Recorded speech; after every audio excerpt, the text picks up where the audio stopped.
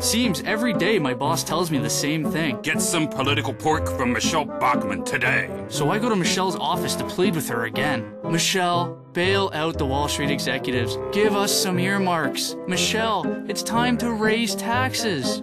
And every day, Michele says no, no, no. I once again watch my dreams of lobbyist gold disappear as Michele tells me she's just looking out for Minnesota families.